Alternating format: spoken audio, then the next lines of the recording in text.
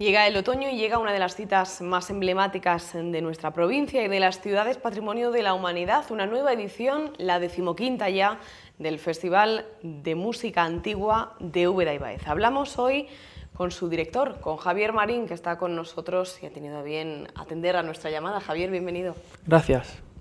Una nueva cita, decimos 15 años ya, en esta ocasión se habla o se centra la temática en la tradición y la modernidad en la música antigua. Se presentaba hoy, esta mañana, en, Jaén, con novedades, entiendo, como todos los años, ¿no? ¿Qué podríamos destacar? Bueno, en general, bueno, podríamos decir que 15 años, en realidad muy poco tiempo, teniendo en cuenta la, antigüedad y la riqueza de las dos ciudades, de los dos municipios sede, pero bueno, todos asistimos con satisfacción a cómo, pese al contexto económico generalizado, que no es muy favorable hacia proyectos culturales de esta envergadura, pues cómo el festival ha sabido consolidarse y mantenerse eh, en un año que de hecho es muy especial para nosotros con esta, edición número 15, que bueno, repito, no es muy dilatada en el tiempo, pero sí que ha sido muy, muy intensa también en cuanto a resultados. Tenemos eh, varias eh, novedades o varios temas significativos. Por ejemplo, empecemos, aparte del ciclo básico de las ciudades de Úbeda y Baeza, el recorrido por la música que se va a hacer en distintos puntos emblemáticos en ambas ciudades, se conmemora o se aprovecha también la conmemoración de, las, de, la batalla de las Navas de Tolosa y se incluyen algunos conciertos en este sentido. ¿no? Efectivamente, sobre el ciclo base de V de Baeza, que es, digamos,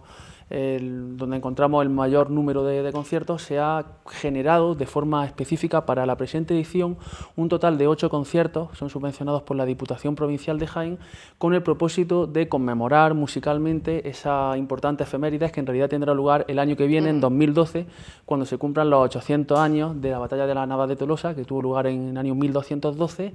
y como indicaba, se van a realizar ocho conciertos, cuatro en Úbeda y Baeza y cuatro en eh, lugares emblemáticos de la ruta de los castillos y de las batallas. Son lugares, digamos, muy significativos todos ellos desde el punto de vista histórico y con los cuales se quiere rememorar esta, esta importante efeméride a la cual también se suma el festival.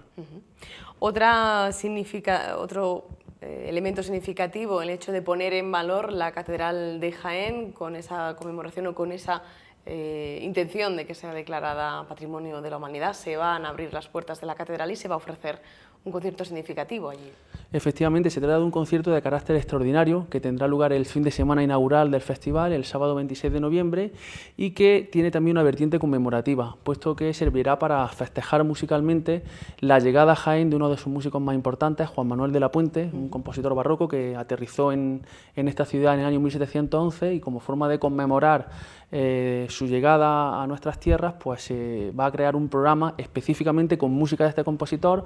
que servirá también para marcar ese eje, digamos, estratégico, patrimonial y arquitectónico que es el de Baeza, Úbeda y Jaén. ¿Se han recuperado partituras para la ocasión en ese periodo de investigación que se ha realizado? ¿no? Bueno, esto también eh, no es solo específico de este concierto, sino que constituye una de las señas de identidad del festival. Es decir, cada año se eh, habla con los, con los grupos de música antigua y se les pide que realicen un trabajo previo de investigación archivística y musicológica para que los programas que presenten en el marco del festival sean mm, programas nuevos, con repertorio inédito, es decir, que no es el repertorio habitual que tienen dentro de su agenda de conciertos, sino que realizan programas específicos eh, que, que duda caben, añaden un, un, atractivo, digamos, adicional a lo que supone ya de por sí estar escuchando música en, lugares, pues bueno, como la propia Catedral de Jaén, eh, la iglesia de la Santa Cruz de Baeza, por ejemplo, que es uno, de los espacios que se incorpora este año, la Sagrada Capilla del Salvador de Úbeda, y en fin, bueno, una, toda una constelación de, espacios arquitectónicos que podemos emplear gracias también al apoyo de un número muy nutrido de instituciones. Eh, por supuesto, el Obispado de Jaén ocupa una posición preeminente en este elenco, puesto que gracias a ellos en esta edición se van a poder realizar un total de 13 conciertos en iglesias de toda la provincia. También la Fundación Casa Ducal de, de Medinaceli con ese concierto de El Salvador el día 5 de diciembre y por supuesto los municipios sede de, de Baeza y de Úbeda que juegan un papel absolutamente fundamental en toda la gestión y la organización logística y la realización del propio festival. Va a haber también apoyo del Ministerio de Cultura ¿no? en un circuito eh, incluido en este festival. Pues efectivamente, es también otra de las novedades de la presente edición. Eh, el festival ha sido seleccionado por el Ministerio de Cultura para formar parte de un circuito de ocho festivales nacionales que eh, conmemorarán de nuevo otro aniversario, en este caso de un compositor muy importante en la historia de la música española que se llamó Tomás Luis de Victoria. Es un compositor internacional que estuvo la mayor parte de su vida en Roma y, bueno, en fin, un referente en, su época y falleció en 1611, con lo cual se conmemora los 400 años de, su fallecimiento y en ese sentido el Ministerio ha ideado una programación específica en ocho festivales nacionales y hemos tenido la fortuna de que nuestro festival de V de Baeza pues, ha sido seleccionado para incorporarse a este circuito y gracias a esa iniciativa pues, podrán escucharse dos conciertos monográficos dedicados a Tomás Luis de Victoria que se realizarán en nuestro festival. Hablabas de nuevas incorporaciones en cuanto a espacios escénicos, a monumentos, a iglesias, en el caso de Úbeda, Santa María, la Sinagoga del Agua también, y en el caso de Baeza, el Paraninfo de la antigua universidad o la iglesia de la Santa Cruz. Son espacios nuevos eh, que van a aportar un, eh, bueno, un añadido más ¿no? al atractivo del festival en sí. Sí, eh, qué duda cabe que cuando uno viaja, viaja a Baeza y a Úbeda,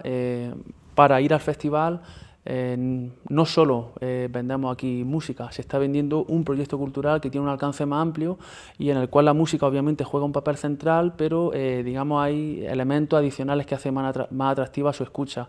Y qué duda cabe que en estas dos ciudades donde uno tiene, por fortuna, esa amplia variedad de espacios para elegir lugares, cada uno de ellos singulares, específicos con condiciones acústicas muy muy particulares y como digo eso es un, atractivo adicional y también desde la organización lo que se intenta es personalizar eh, cada espacio con la música que es más adecuada. En el caso, por ejemplo, del Paraninfo de la antigua Universidad de Baeza,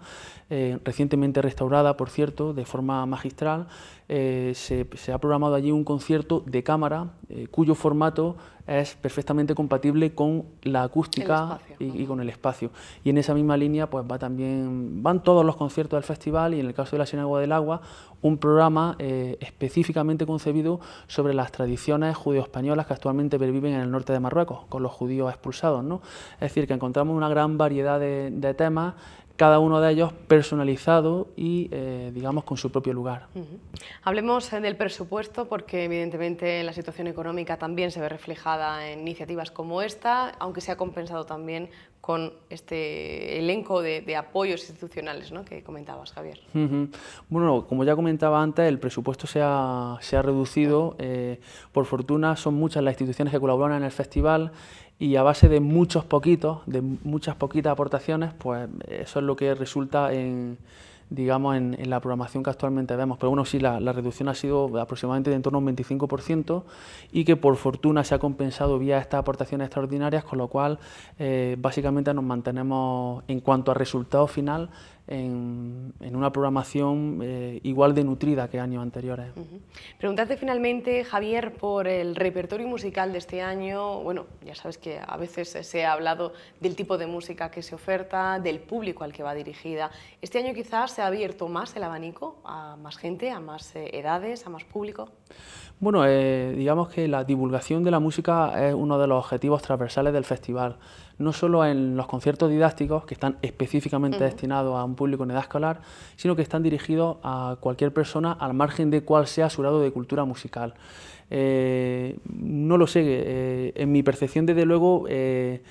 este año no se ha hecho un énfasis especial en abrirlo a todos los públicos. Digamos que todos los años, todas las ediciones, eso es lo que se intenta.